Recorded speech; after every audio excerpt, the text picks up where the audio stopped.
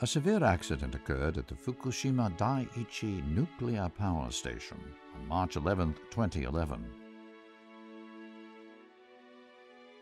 With the support of numerous partners, we are steadily moving forward with the decommissioning process.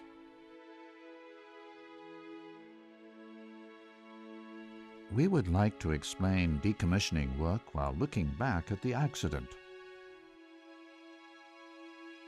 When all power was lost to units 1 through 3, the reactors could no longer be cooled and the fuel melted. This caused the generation of a large amount of hydrogen, which ultimately resulted in the hydrogen explosions in units 1, 3, and 4, which was connected to unit 3.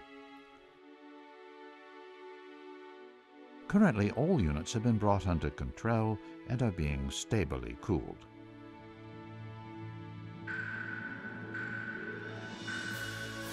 This was the Unit 1 building at the time of the accident. At Unit 1, rubble is being removed from inside the reactor building in preparation for removing fuel from the spent fuel pool. Work to install supports to the overhead crane and fuel handling machine was completed in November 2020 in order to prevent rubble scattering and affecting fuel in the pool. We are planning to begin construction of a large cover over the reactor building in order to remove rubble during the first half of fiscal year 2021. Fuel removal from the spent fuel pool is expected to begin between fiscal year 2027 and fiscal year 2028. Internal explorations of the PCV are being conducted in preparation for fuel debris removal.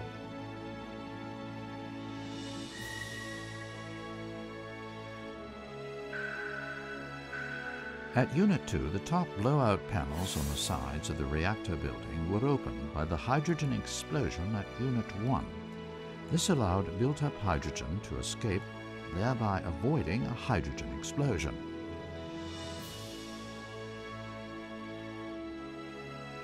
In preparation for fuel removal from the spent fuel pool, an investigation of the inside of the spent fuel pool was conducted in June 2020, the first time since the accident. The investigation didn't reveal any conditions that would hinder fuel removal. The footage taken during the investigation is being carefully analyzed, and the results of the investigation will be reflected in the design of fuel handling machines.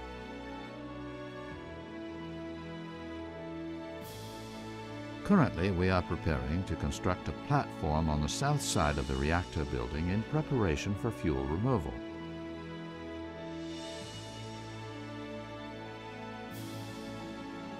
Fuel debris removal will begin at Unit 2. Investigations conducted to date have shown that deposits can be grabbed and moved.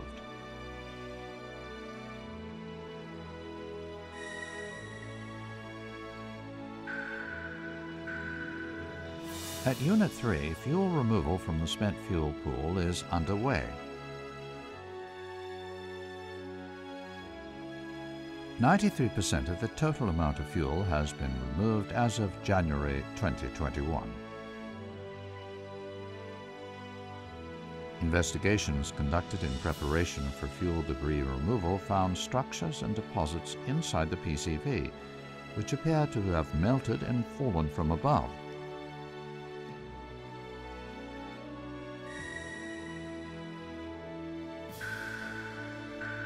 At Unit 4, all fuel was removed from the spent fuel pool, thereby eliminating potential risks.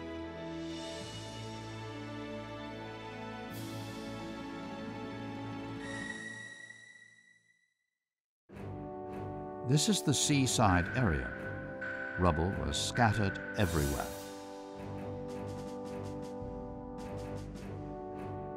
Highly radioactive rubble was removed and radiation levels were lowered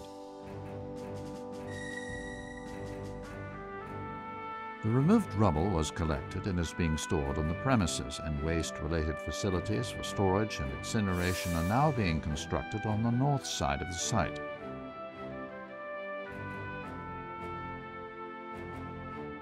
Progress has also been made with countermeasures for earthquakes and tsunami. The Unit 1 and 2 exhaust stack has sufficient seismic resistance, but the top half of the stack was dismantled in order to reduce the risk of collapse. This task was completed in May 2020 in cooperation with local companies. Furthermore, to prepare for another tsunami, we have been building seawalls, and construction of a seawall to combat a possible tsunami generated in the Kuril-Kamchatka Trench was completed in September 2020. We will continue to strengthen tsunami countermeasures.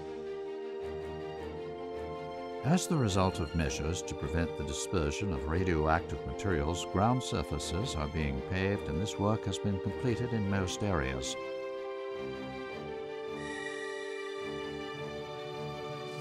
After the accident, workers had to wear protective clothing and full face masks in every area of the power station.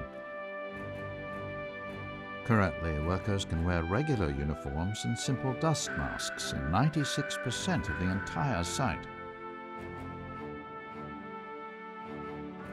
Some areas can now be accessed without wearing any protective equipment, not even masks or gloves.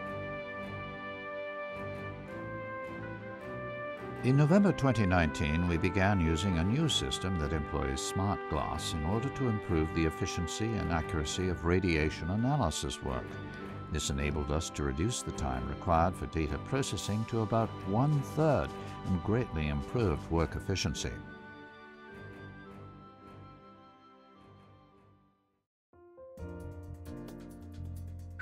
This is the large rest house. It has a cafeteria where workers can eat hot meals made with ingredients grown in Fukushima Prefecture, and also a convenience store. All the facilities needed to support decommissioning work, such as a fully equipped medical facility, have been built. The new administration office building and the partner company's building have been built side by side, and the close proximity allows TEPCO employees and contractors to work in unity. Progress has also been made with contaminated water countermeasures. Contaminated water is created when rainwater leaking through the damaged roof and groundwater flowing into the buildings comes into contact with radioactive materials. Therefore, Ground surfaces have been paved to prevent rainwater from seeping into the ground and groundwater is pumped up using wells around the buildings. A frozen soil wall that surrounds the buildings has also been formed to reduce the amount of groundwater flowing into the buildings. Measures to prevent rainwater from seeping into the damaged buildings are also underway. Groundwater is prevented from flowing into the ocean by a steel wall that was constructed at the edge of the port area. Groundwater that accumulates at this barrier is pumped up using wells located inside the wall, thereby keeping the environment inside the port safe In the ocean area surrounding the power station, surveys are performed in various places to measure the concentrations of radioactive materials which have been lowered to and being stably kept at levels below national standards. The radioactive materials in contaminated water are treated using the multi-nuclide removal equipment referred to as ALPS and other equipment. Treated water is being stored in welded tanks, which are more reliable and less likely to leak. The decommissioning process is expected to take 30 to 40 years. We shall continue to move forward steadily and safely with this task in cooperation with our domestic and international partners.